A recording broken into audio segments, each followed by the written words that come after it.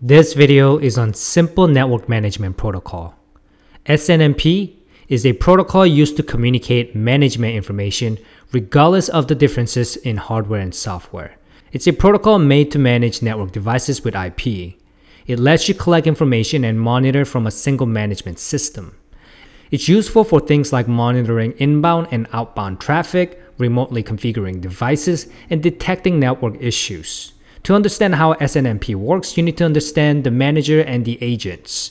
The manager or management system is a separate entity that communicates with the SNMP agents. Manager is simply a focal point for all the agents. Manager's duty is to query the agents, get responses from the agents, set variables in the agents, and acknowledge asynchronous events from agents. Then we have agents, which are simply IP devices. And when enabled, it does all the compiling and storing of the data. Agents collect management information about its environment, stores and retrieves management information as defined in the management information database, signals events to the manager, and acts as a proxy for some non-SNMP manageable network node. SNMP uses port 161 but uses port 162 as well when agents send unsolicited traps to the SNMP manager. Traps are used when the device needs to alert the network management software on an event without being polled.